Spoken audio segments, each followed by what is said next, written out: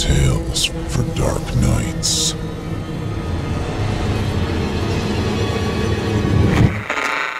Want to make sure you never miss a Chilling Tales for Dark Nights video again? Be sure to subscribe and hit that bell to turn on notifications.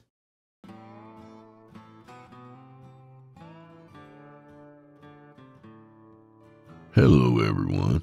I'm back, fit as a fiddle. What's my secret, you ask? Proper diet, sober living, and a good, wholesome lifestyle. Avoid all three of those, and you're good to go. Sorry, boy, we're all out of leftovers. Oh, yeah, Chinese food helps too. I'm no dummy. Come on in, friend. I don't care what you got. I'm bulletproof. Mmm. That's better. All right, so tonight we're joined by Bryan Asbury. You might remember him from season 2, episode 12, White Coat Syndrome. Remember when the guy's pigs ate him?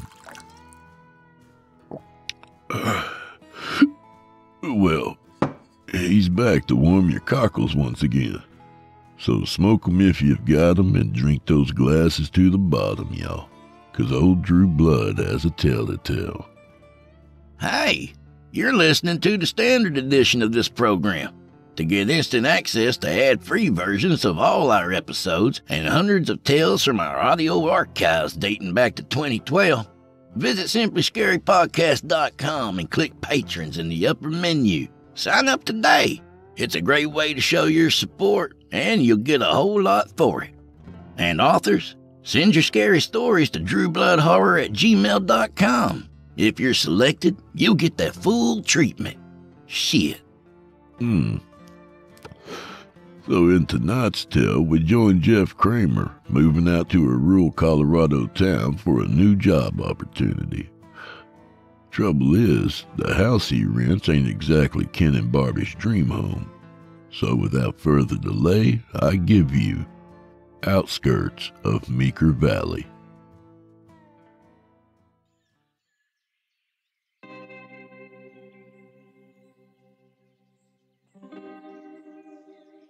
Jeff Kramer sat on the front porch, casually smoking a cigarette. He took a drag and leaned back in his metal chair, wondering if he had missed anything about Cañon City. Fifteen years, he thought to himself. They passed like the smoke that drifted gently into the night sky. Suddenly, the quiet moment was disrupted by his girlfriend Mallory, who yelled from the kitchen. Jeff, can you take this trash out? His hand jerked, causing the ash from his cigarette to go flying. He took one last puff and flicked the butt into the driveway. I was just out front finishing a cigarette. The trash ain't going nowhere. Mallory smiled. Exactly. It ain't going nowhere unless you bring it to the barrel. Jeff had spent the day packing his belongings into a U-Haul trailer. He had accepted a promotion at a small outlying prison in Meeker, Colorado, and was leaving in the morning. Mallory was staying behind. Despite how things may have looked on the outside, Mallory had a hard time hiding her reservations. She felt that Jeff had once again chose work over her. Jeff grappled with trying to please her while at the same time fulfilling his dream to live in a small rural town. While lying in bed, Mallory turned to him. I hope you don't feel like I'm trying to hold you back or that I've become a burden to you. Uh, Why would you think that? Jeff responded as he ran his fingers through her hair. Well, it's just a feeling that I get sometimes. Her eyes teared up. I know it's going to be tough at first, but as soon as you sell the house, you're going to move up there with me, right? Mallory sniffled and turned on her back. But it's not just that. I get another feeling too. What? It's like an anxious feeling, like the timing is wrong. She sighed. It's hard to explain. Jeff smiled and gently kissed her on the cheek. It's just nerves. I'm sure it's no different than what I'm feeling too. The next morning, Jeff finished uploading the last of his stuff into his trailer. After he latched the door, he paused and took one last look around the neighborhood. Mallory watched from the storm door. Her eyes were bloodshot from crying, which seemed to illuminate their blue color. He got into his truck and waved. I love you. I'll call you when I get up there. Mallory waved back as she gazed longingly through the window.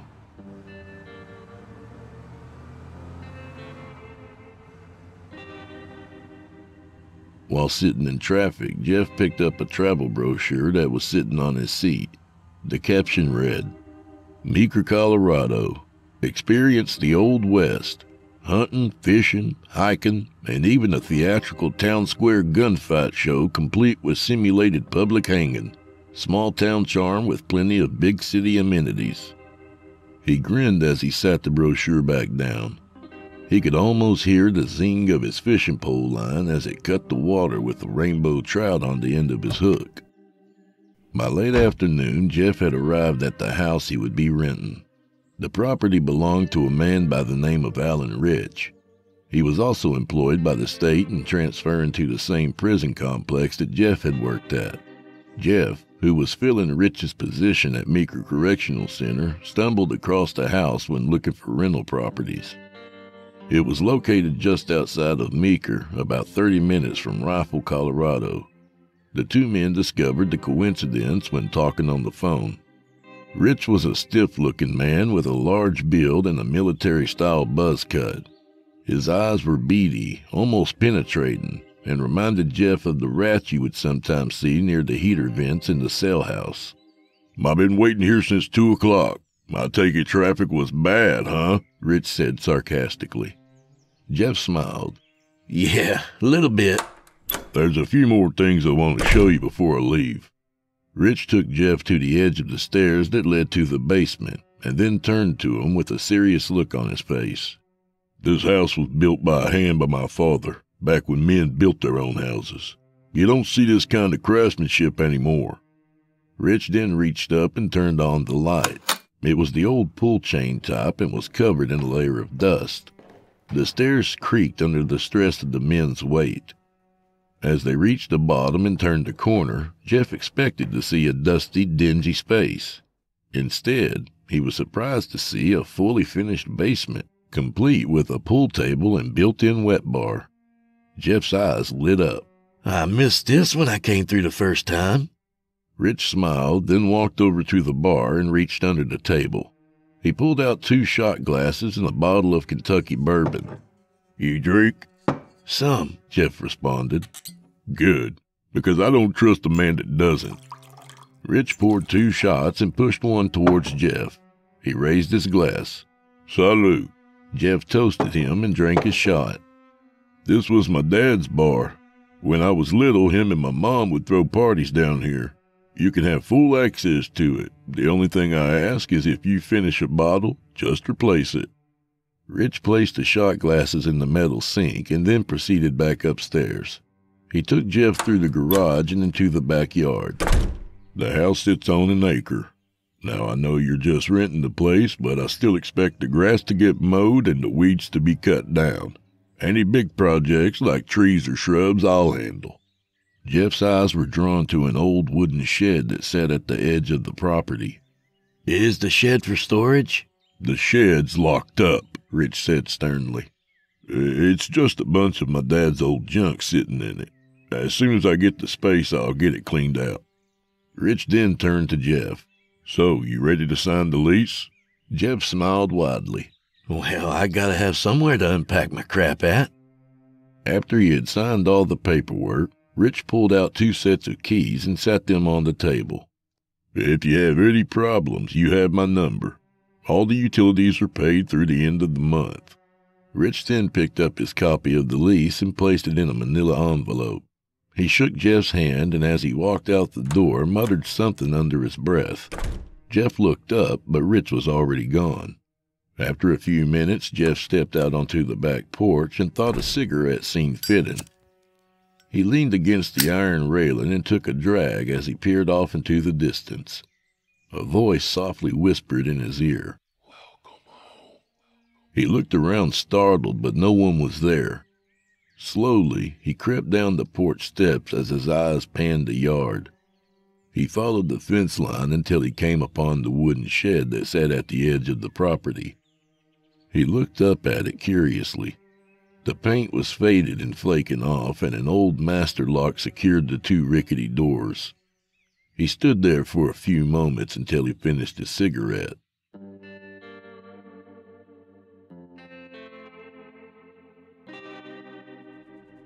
I just know you're gonna love this place. Jeff said to Mallory over the phone.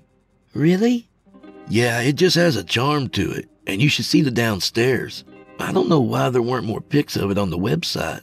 Who was the landlord nice? Mallory asked. He was kinda uptight. We mainly just went over paperwork. Jeff left it at that. Well, I need to start unpacking before it gets too late. After he hung up, he tugged at his t shirt to get some airflow. The ceiling fan in the living room squeaked as it struggled to keep up. Jeff walked over and flipped on to central air, then began unloading his trailer. That first night was restless. Jeff tossed and turned for what seemed like hours before finally falling asleep. Soon he began to dream. In the dream, he's chopping wood in the backyard. He hears a car horn and walks around to the front of his house, carrying his axe. It's Mallory's Toyota pickup. She hopped out of the cab and ran to him. I wanted to surprise you today. She exclaimed. Jeff stood there emotionless. She wrapped her arms around him and buried her head into his chest. His expression turned from a blank stare to a psychotic grin. You're so thoughtful. He raised his arms to hug her, resting the axe on her shoulder blade. In the next sequence, they're laying in bed together. Shadows dance to the rhythmic flicker of the candlelight. He slowly begins kissing her neck. She smiles and runs her hand down his back. Suddenly, he gets more aggressive, biting at her and restraining both of her wrists. As she begins to struggle and cry out, he looks up into the mirror that hung from the headboard. It's not his reflection that he sees, but Rich's. Shadows blacked out his eyes, and he grinned devilishly. At that moment, Jeff awoke. His chest was pounding and sweat beaded on his forehead. He sat up and turned to look into the mirror on his headboard. Thank God, he thought to himself, I'm still me. The next day, he spent getting the house in order. As night came, he sat in his recliner next to the lamp, studying facility regulations. His bifocals rested snugly on the tip of his nose as he flipped through the pages. A thought entered his mind. The shed. There was something special, something that was meant just for him that was inside there. It seemed to come out of nowhere, but just as quickly as it crept into his mind, it was gone. He shifted his eyes back to his notebook and continued reading.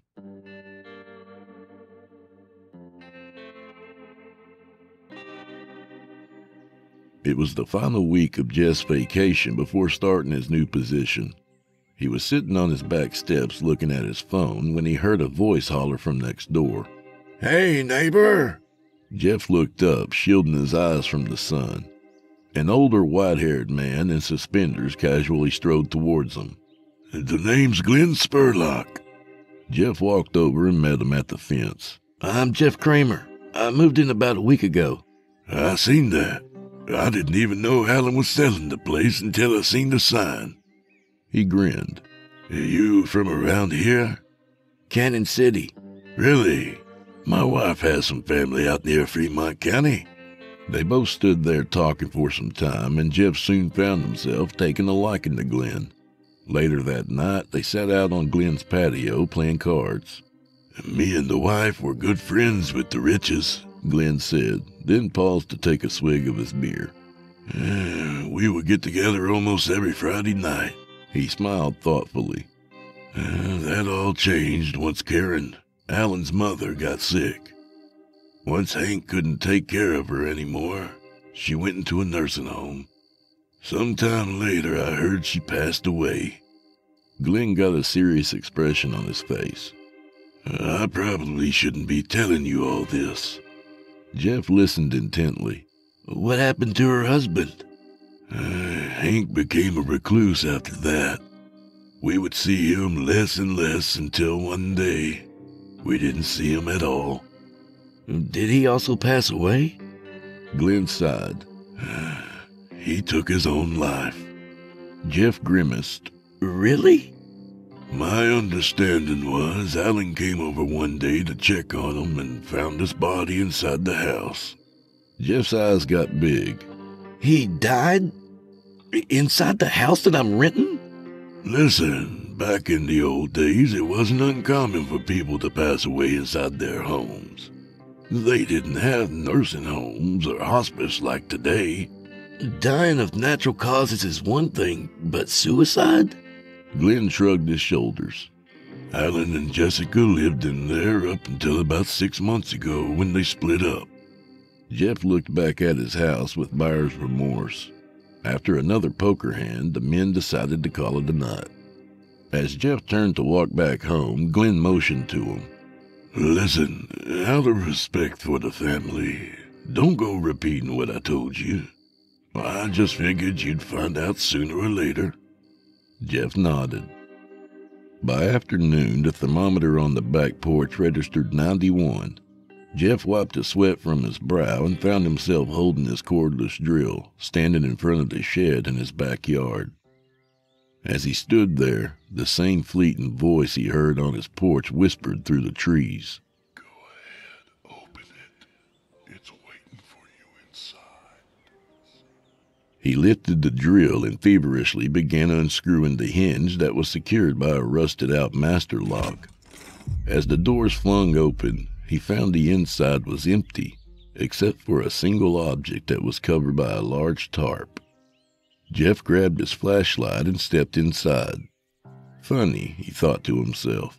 He remembered Rich saying that he didn't have room for all the stuff that was in there. He shined his light on the object and slowly peeled back the tarp.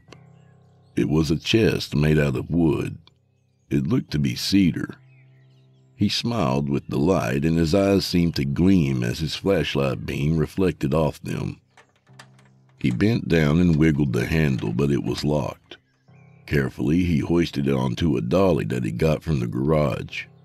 As he wheeled it through the backyard, he looked around nervously, as if he expected Rich to pull up at any minute.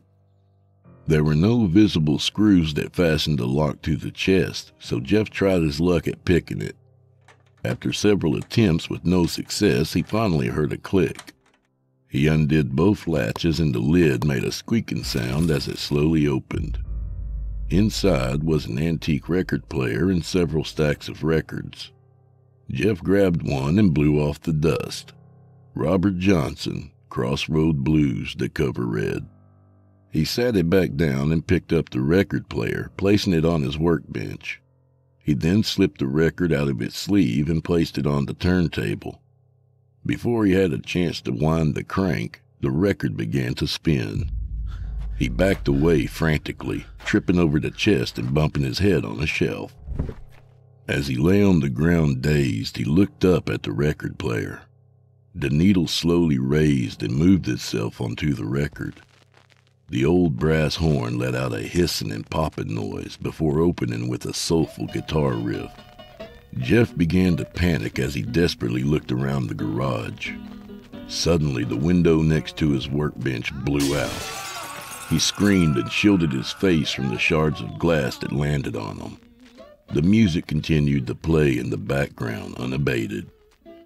Jeff, Jeff, are you okay? Jeff, are you okay? Jeff slowly opened his eyes. Glenn was hunched over him, slapping him in the face. As he helped him to his feet, he winced and rubbed the back of his head. Thanks. I tripped over this damn chest and lost my balance. I ran over when I heard your window shatter. What happened? Jeff looked over at the window and then looked down. I don't know. I don't exactly remember. The record was no longer playing and the needle rested back in its holder. Uh, well, here, let me give you a hand cleaning this mess up, Glenn said as he grabbed the broom. After the two got the mess cleaned up, Jeff boarded up the window. He glanced over at the record player, which sat unassuming on top of his workbench. Still trying to make sense of what happened, he gathered his courage and cranked the handle several turns. Nothing happened. He cranked it again and backed away. Still, the turntable failed to spin. He looked it over and then decided to reenact the same sequence of events that led up to the strange phenomenon. He placed the record back in its sleeve, laid the record player in the chest, and then repeated the process. Still, the turntable didn't budge. With a puzzled look on his face, he placed the record player back in the trunk. The hinges shrieked as he closed the lid.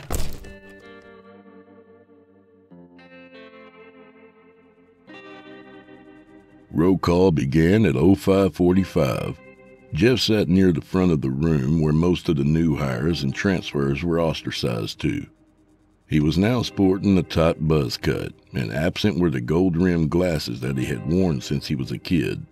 Towards the back, where the light dimmed and the hum of the Coke machine was deafening, sat Whispers and Sergeant Espinosa. Whispers' real name was Patrick Harper, but everyone called him Whispers because of an assault at the penitentiary that damaged his vocal cords. He elbowed Espinosa in the side. I take it that's the new lieutenant. Espinosa looked up. Yeah, he looks like an asshole. Just another limp dick like the last one. I wouldn't be surprised if Carlson brought him up here to spy on everyone. After he finished taking attendance, Captain Carlson motioned to Jeff as he spoke to the room. This is Lieutenant Kramer. He'll be the new shift commander on days. Jeff turned to everyone and waved. As they walked into the complex, Carlson pulled Jeff to the side. Listen, the crew up here is kind of an interesting bunch. A lot of these people have been here since Colorado was still a territory. He grinned and looked at Jeff thoughtfully. Some can come off as a little abrasive, but just give them a chance. CO Grigo looked up from checking Whisper's bag in the entranceway and saw Jeff talking with the captain in the parking lot. He handed him his bag back and squinted. Hey, Whispers, that's not Rich out there, is it? No, it's his replacement. I forget his name. Kramer! Sergeant Espinosa exclaimed. Yeah, that's it. Grigo couldn't help but notice the similarities between the two men. The shadow cast by the perimeter lights only added to it. He laughed. Maybe it's just the G.I. Joe haircut. Jeff walked into the break room and up to a large office with a leather couch and a giant palm cactus. Is this my office? He asked Carlson, who followed behind him. No, that's my office. Yours is further down the hallway. Carlson led Jeff to a much smaller room next to the bathrooms. This is yours. It was originally a porter closet that was converted into an office. As soon as the new fiscal year comes around, we'll try to get you some different furniture in here. Carlson smiled. Well, I'll let you settle in. I'll be back for the noon count. Count time. Count time. The message came over the intercom, and Jeff walked with the captain over to the control center. Espinosa stared at him and sipped on a glass of iced tea while he waited for the count sheets to come in. The porters cleaned while they waited for the count to clear. Inmate John Yellowhair was the office porter and also a trustee. A trustee was a prison term for inmates that had been down for many years and earned the respect and trust of staff. He spoke with whispers inside the unit office.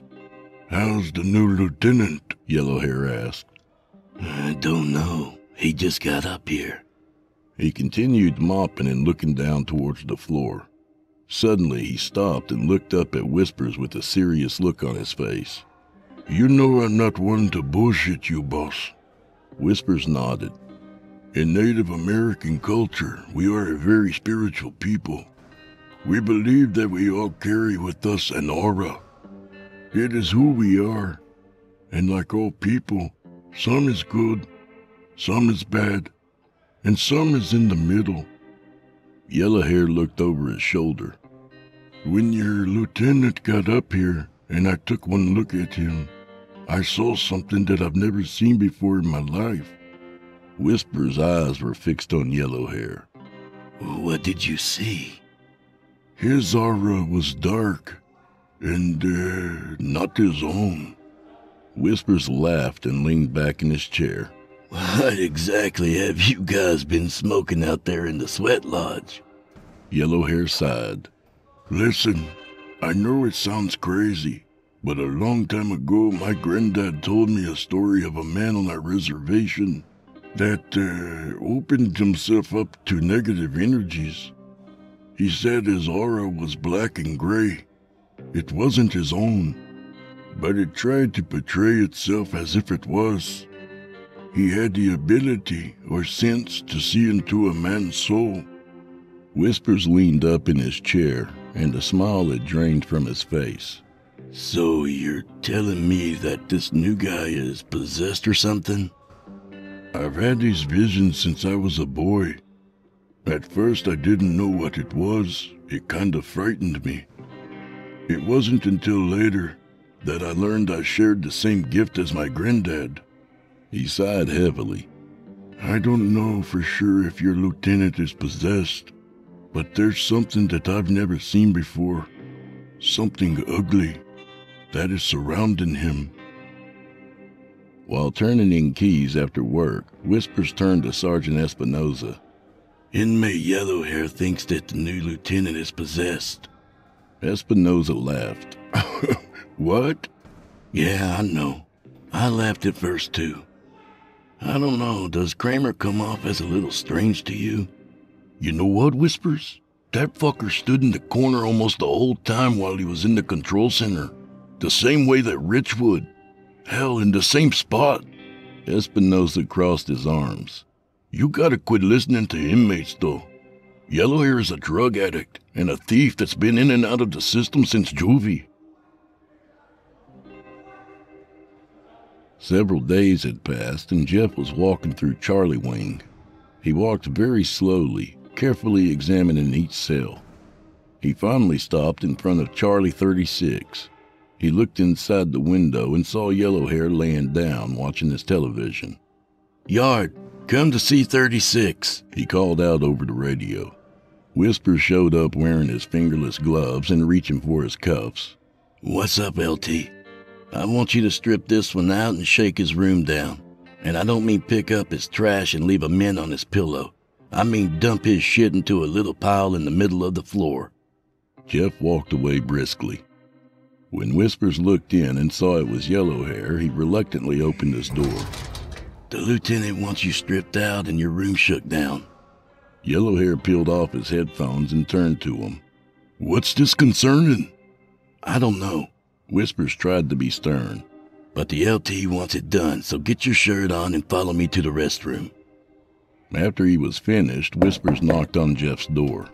I stripped him and checked every inch of that cell for contraband. The only thing I found was some extra laundry ties and a few scrub pads. He paused as he peeled off his gloves. Well, what was that about? I got a snitch guy claiming the Yellowhair might be bringing in drugs. Jeff turned to his computer and then turned back. Also, check the sweat lodge. They could be hiding it in their pile of shit out there. At lunch, Yellowhair walked slowly through the chow line. Espinosa stood by the window monitoring the inmates. As Yellowhair passed by, he nervously looked up from his tray. Hey, Sarge. After lunch, can I get a minute of your time? He met Yellowhair in the hallway after he finished eating. Look, you know I'm not one to stir up shit. I keep to myself. I know how to do time. Espinosa stood with his arms crossed and nodded. I know why your lieutenant is bringing heat on me. The shakedowns, the strip outs. I know it isn't just a coincidence. So then, what is it? Yellowhair clutched his medicine bag. Ever since I talked with Whispers the other day, Kramer's been on my ass. Espinosa had an unconcerned look on his face. All I know is I'm almost out of here and I don't need anyone messing that up for me, okay? Jeff heard Mallory's truck pull into his driveway. Axel, her dog, jumped out and followed her up the porch steps. As Jeff opened the door, she hugged him and then pulled away to get a glimpse of his new look. Her smile slightly faded. What's wrong? You just look so different. Where did all your hair go? And no glasses? Did you get contacts? Axel, who usually ran to Jeff, stood behind Mallory. The hair on the back of his neck stood up and he began to snarl and bark. Jeff looked at the dog. What's wrong with him? He then placed his hands on Mallory's shoulders. I don't know any good barber shops up here, so I decided to cut my own hair. One on the side and four on the top. He made a shearing motion with his hand. And my glasses started giving me headaches, so I ditched them. Well, you better get into an eye doctor. Can you see at all? I see fine. Jeff's tone became more agitated. Already bitching. Is that all you care about, my haircut or my glasses? No. Mallory said, startled. You look just a little different, but I'll get used to it. She grinned awkwardly. Jeff turned and walked inside. She made her way to the patio where she sat with her arms crossed. Jeff came up from behind her. Thirsty? She turned around quickly and saw Jeff hovering over her, holding a bottle of Bud Light. He twisted open the cap and handed it to her, then sat down next to her. So, what do you think? Mallory looked around thoughtfully. It's just wonderful. It looks like you had the mountains in your backyard. Sometimes in the early morning I can watch the deer grazing in this back area. He pointed out into the distance. It's amazing how tame they are.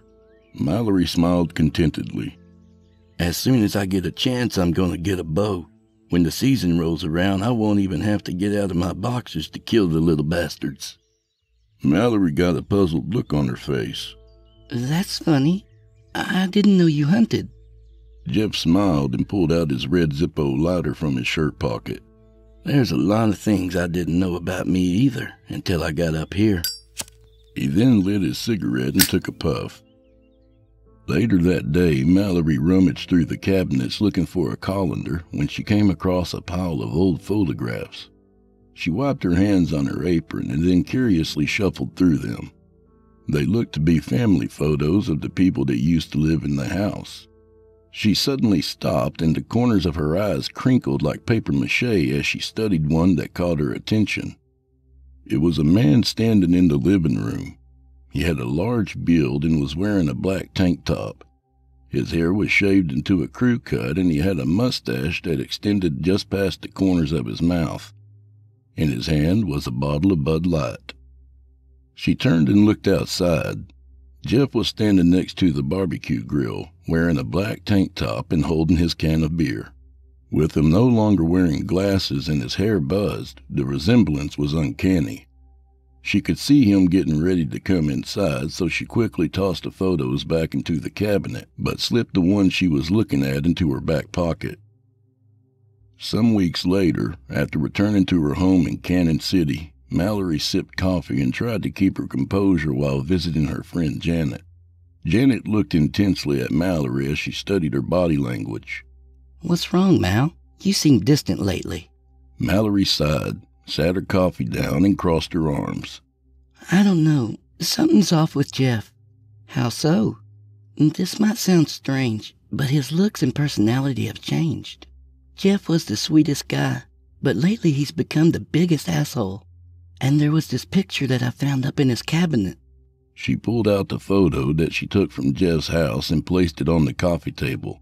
I know it might sound crazy, but I found this photo in one of the cabinets. This man, I don't know who he is, but he looks just like Jeff looks now. Janet looked down at the photo, then picked it up and squinted to get a better look. She got a surprised look on her face. That's Lieutenant Rich, the new guy who transferred from Meeker.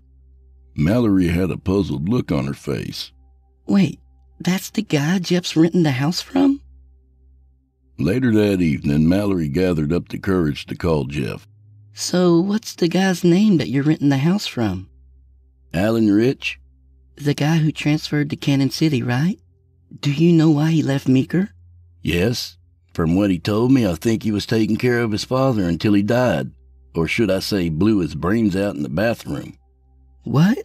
The old man next door told me. His father killed himself in here. I guess Rich must have forgotten to mention that to me when he was telling me about this place's colorful history. I will say the crime scene cleanup crew did a pretty good job of cleaning up the mess. Of course, even the best tidying up can't always catch those stray remnants of skull matter that sometimes get left behind. Jeff smiled sadistically. Mallory's stomach turned as she began to realize that this wasn't Jeff on the other end of the phone. It may have sounded like his voice, but she knew this wasn't something that he would ever say to her in his right state of mind. Inmate Yellowhair decided the best policy would be to lay low and avoid Jeff at any cost, and the next few weeks at Meeker Correctional Center were pretty quiet. Jeff mainly kept to himself, and most of the staff just assumed he was a little odd. Sergeant Espinosa knocked on the window out of the control center and motioned to Whispers to come inside in a dramatic fashion. Check this out. He pointed at the new tool inventory sheet that hung on the wall next to all the equipment. Look how Kramer signed it. Whispers glanced at the sheet and saw the signature was signed A. Rich. Is this the new sheet or the old one? Espinosa pointed at the date in the upper corner. It's the one that just came out this week. Why would he sign his name as A. Rich? Whisper said in his raspy voice. Espinosa just raised his eyebrow. Can I force him to get mental health treatment if he doesn't want to? Mallory asked Janet over the phone. So you think he went up there and lost his mind? Janet responded. How else do you explain someone's personality and looks completely changing? Is he drinking? Yeah, Bud Light. I've known the man for the last five years and he hates Bud Light until now. Janet snickered. Woman, if changing your favorite alcoholic beverage qualifies you for mental illness, I think I'd be certifiable at this point. I'm being serious, Janet. Listen, I went through a similar situation with Ron. He became distant, started keeping secrets, all that. As long as he hasn't cheated on you like Ron did to me, all the rest of that stuff can be worked out. And sometimes people just change. Janet sighed. Hell, maybe it's a midlife crisis or a male menopause. We get hot flashes and they take up bow hunting. Mallory sighed, overcome with emotion. Yeah, maybe so.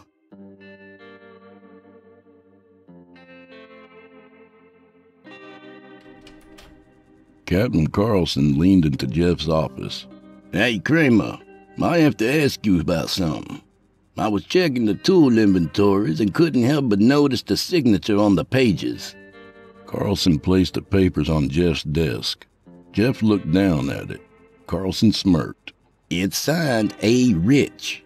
Lieutenant Rich left here a few months back. There's no way he was here to sign these. There was an uncomfortable silence between the two men, and Carlson chewed his gum nervously.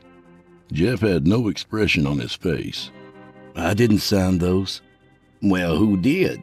Rich must have signed them before he left.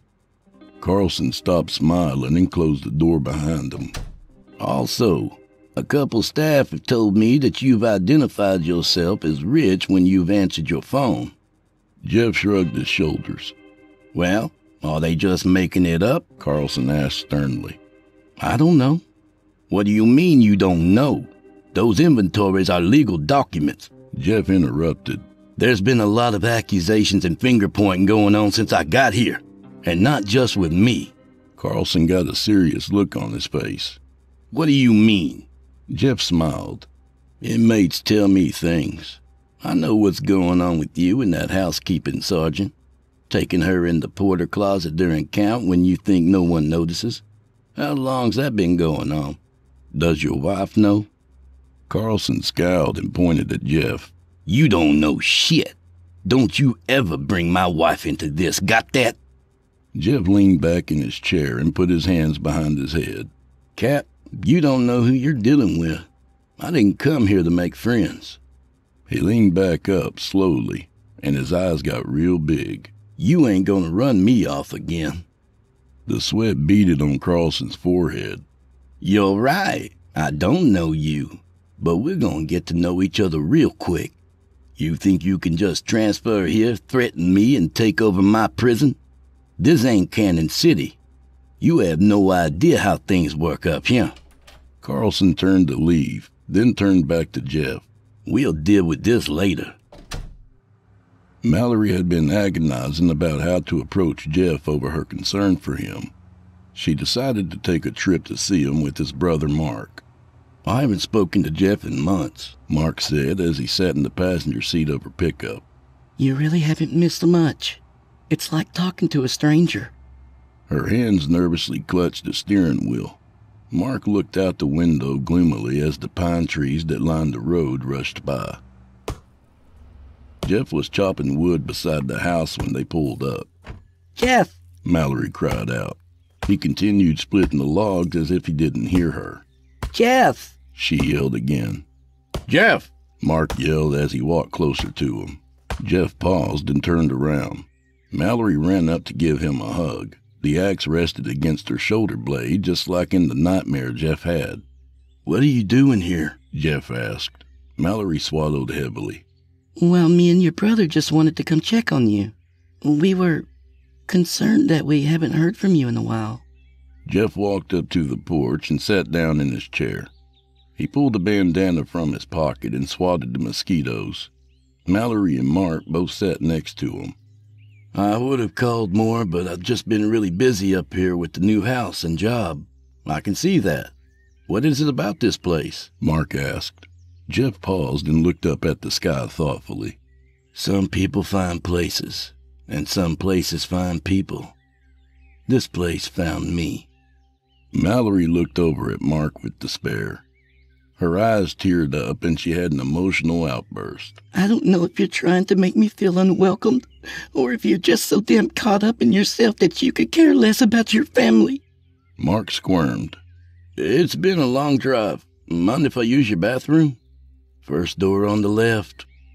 Mark opened the screen door and made his way through the living room. There were two pictures hanging on the wall that caught his attention. Strangely, he didn't recognize any of the people. Jeff came up quietly from behind, startling Mark. She was beautiful, wasn't she? Jeff pointed to the picture of an older lady smiling next to who appeared to be her husband. Who is she? These are pictures of my family. Mark looked confused. Your family? This isn't our parents. What are you talking about, Jeff? She passed away on a Tuesday afternoon, Jeff sobbed. Some months later, Dad passed too. Blew his brains all over the bathroom wall. The same bathroom I showered in and brushed my teeth in since I was a kid. Jeff grew more and more frantic. Do you know what that's like? Do you know what that does to a person to find his own father like that? Jeff, Mark pleaded. Get out. What? Get out of my house. Mark tried to rationalize with Jeff, but before he could say anything, Jeff began to strangle him. Mallory burst into the house. What the hell are you doing? Jeff turned to her, tipping over the lamp and end table. His green eyes had turned an unholy black. Mark grabbed Mallory, and the two ran out of the house, got into her pickup, and sped off. That's not my brother, Mark said, still out of breath. When I looked into his eyes, they were black. Did you see that? Mallory nodded in disbelief. The two stayed silent most of the way home.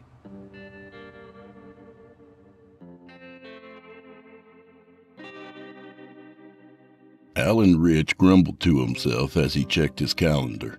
It had been over two months since he received any rent money from Jeff, and property taxes for the house were coming due. He dialed his number, but like all the times before, it went straight to his voicemail. Rich decided to pay Jeff a visit and pulled up in his driveway in his Ford King Ranch. He put it in park, took off his sunglasses, and looked around the property. The yard was well manicured. He knocked on the door and stood back and crossed his arms. The door slowly opened, and Jeff answered. Can I help you? Yeah, you can help me. You're two months late on your rent and you don't answer your phone. I had to drive all the way up here, Rich barked. Excuse me? Jeff replied. Rich raised his voice. Sorry if I was unclear. Let me rephrase that. You're two months late on your rent. I need the money. Just who in the hell do you think you are? Rich rolled his eyes. Listen, asshole, I'm the landlord. Just who in the hell do you think you are? I'm Alan Rich. I own this property. Rich's eyes got real big. Are you fucking with me? Are you crazy or something? Jeff reached behind the door and pulled out his crossbow. He pointed it at Rich and pulled the trigger. The arrow struck him in his trachea. He stumbled back, trying to keep his balance as he inched closer to the edge of the porch. He took his hands and grabbed the arrow, pulling it out only a few inches before tripping backwards down the steps. Rich laid there, gasping for air, with the arrow sticking out of his neck. A pool of blood began to form on the sidewalk under his body as the life slowly drained from his eyes. Glenn Spurlock was watering some plants in his yard when he heard the commotion. He dropped the hose and adjusted his glasses as he looked through the slats in the fence. Good God Almighty, he said to himself. He ran inside his house, almost tripping over his own feet, and called the police. Jeff calmly put the crossbow down and walked out to where Rich laid. He grabbed his feet and drug his body up the steps and into the house. A short time later, a patrol car sped into the driveway. There was a smeared blood trail on the sidewalk that led into the house. A look of concern came over Deputy Arnold's face. Get your double barrel ready, Sheriff Houston said to him. Dispatch, this is Yukon 1. Get all available units to 1127 Golden Oak, possible code 9. The two exited their squad car with their weapons drawn and ran up to the front of the house. Houston motioned to Arnold to go around back. He then proceeded cautiously to the front door. He knocked and announced himself. This is Meeker County Sheriff's Department. I need you to discard any weapons that you may have and peacefully exit the house with your hands up. Arnold let himself through the back gate, gripping his shotgun so tight his fingers began to cramp. He looked in the living room window and saw Rich's body on the floor, with the arrow still in his neck. He slammed his back up against the house and took a deep breath. Yukon 1. This is Yukon 4. I got a visual on a wounded male victim inside the house, possibly deceased. Roger that, Houston responded. He raised his voice and announced himself again. I repeat, this is the Meeker County Sheriff's Department. I need you to discard any weapons that you may have and peacefully exit the residence with your hands up. If you fail to do so, we will be forced to come in and get you. Arnold turned to look back in the window. Suddenly he froze. He could hear the faint sound of music coming from inside the house. Houston came around the side and startled him. Arnold jumped and stumbled backwards. Jesus, man, you scared the crap out of me. No one's opening up. I think we can gain access through the window on the east side of the house. Listen, Arnold exclaimed. You hear that music? Houston looked inside the window and saw Rich's body. He then put his ear to the glass and listened. There could be someone inside, or it could be a diversion. He motioned to Arnold to follow him to the side of the house. Houston took his baton out of his holster and broke out the window. He dragged it around the edges, carefully clearing away the jagged bits of glass. He then climbed through while Arnold followed close behind. Houston's eyes scanned the inside of the house. It was in disarray, like it had been ransacked by a madman. Both men kept their weapons drawn. Houston pointed to the living room. They walked over to Rich's blood soaked body. Arnold kicked his side, then knelt down and checked his pulse. He looked up at Houston. He's dead. They continued walking into the pantry that led into the garage. The music got louder. As they got to the door, Houston turned to Arnold and nodded. Arnold raised his shotgun. Houston crouched down and aimed his pistol, then swung open the door. Inside the garage, Jeff sat alone with his back to the two men. He stared motionless at the record player as it belted out the old blues song. Show me your hands, Houston shouted. Jeff sat unresponsive with his hands in his lap. Show us your damn hands, Arnold hollered over the music. The two men couldn't see that Jeff's eyes were blacked out. They slowly walked down the steps, keeping their aim. Houston sensed something wasn't right. He quietly whispered under his breath, Our Father, who art in heaven, hallowed be thy name. He carefully holstered his pistol and grabbed his taser. This is your last chance to put your hands in the air and end this peacefully.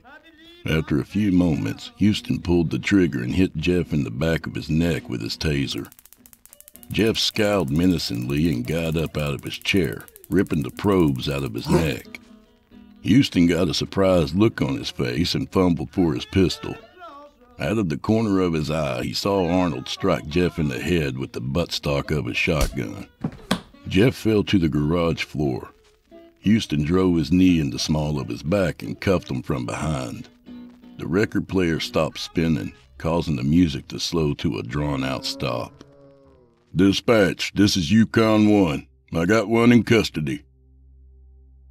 Outside, a barrage of police vehicles lined the street. Houston smirked at Arnold. Perfect timing. He placed Jeff in the back of his squad car and closed the door. He turned to Arnold. Did you happen to get a good look at this asshole's face when he turned around? Arnold thought about it for a minute. Not really, but my 12 iron sure did.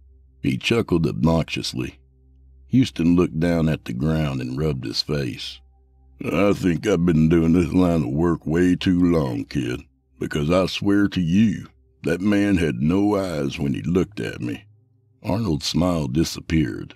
What do you mean he had no eyes? He looked at Jeff in the squad car. He looks like he has a set of eyeballs to me.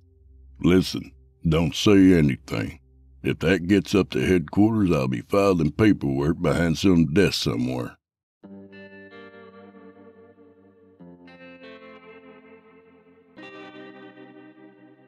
Down at the Meeker County Detention Center, Jeff sat alone in his cell under observation. A psychiatrist assigned to his case spoke with Sheriff Houston in his office. Well, in layman's terms, I don't believe that he's faking it. He believes in his mind that he's this man Alan Rich that he murdered. When I asked him about Jeff Kramer, he appears confused. I see, Houston replied, crossing his arms. It's a severe case of a delusional disorder. Sir, does your profession. He cleared his throat nervously. uh, recognize demonic possession? Are you asking me personally or professionally? Layman's terms, Houston said. The psychiatrist smiled warmly. Sheriff, I'm a Catholic, but I'm not clergy. You'd have to get a hold of the church to get an answer on that matter. Deputy Wallace was making rounds in the jail that evening when Jeff called out to him. Deputy. Excuse me, Deputy.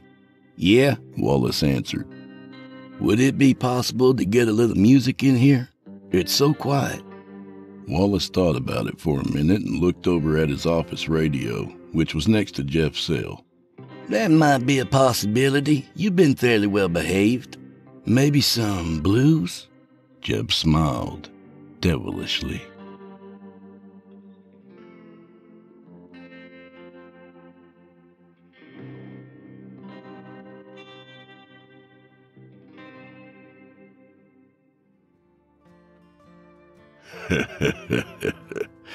You've been listening to The Outskirts of Meeker Valley by author Bryan Asbury. A reminder to consider things carefully when you reach your own crossroads. Some places you find, other places find you. And if you go messing around in my shed, I'll find your ass myself.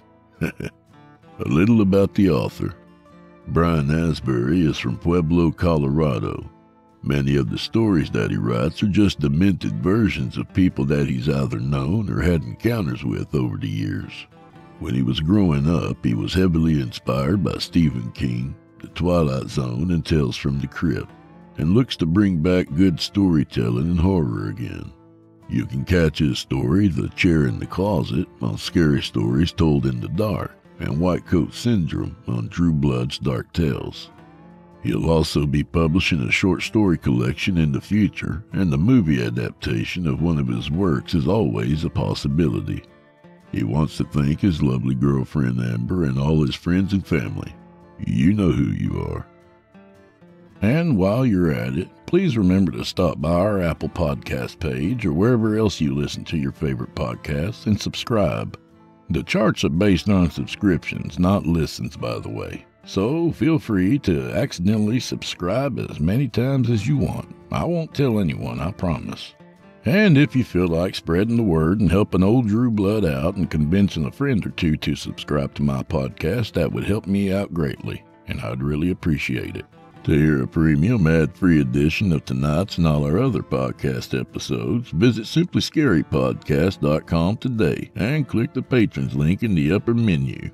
You'll find yourself at chillintalesfordarknights.com, where you can become a patron for as little as $5 a month and get access to our entire audio archive dating back to 2012, including past episodes of this program and all our other shows, and hundreds of standalone releases, all of them ad-free and available to download or stream. If you happen to use Facebook, Twitter, Instagram, or YouTube, you can follow and subscribe to Chillin' Tales for Dark Nights there where you'll get all our latest updates and new releases and have the chance to interact with us each and every week.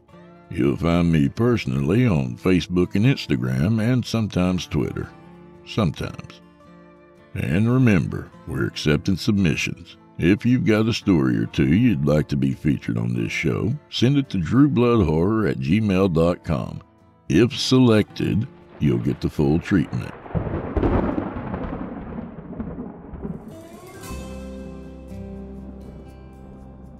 Well, I'm afraid this is where we part ways, friend. At least till next week. So grab a drink for the road.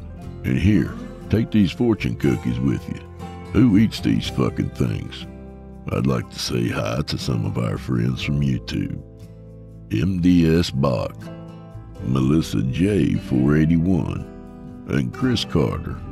It's listeners like you who keep me going. Thank you. So without further ado, MDS Bach, Melissa J 481, and Chris Carter. May the wind be at your back, and may the road rise up to meet you. Be the author of your own good fortune, and go fuck yourselves. good to be back, y'all. See you next week.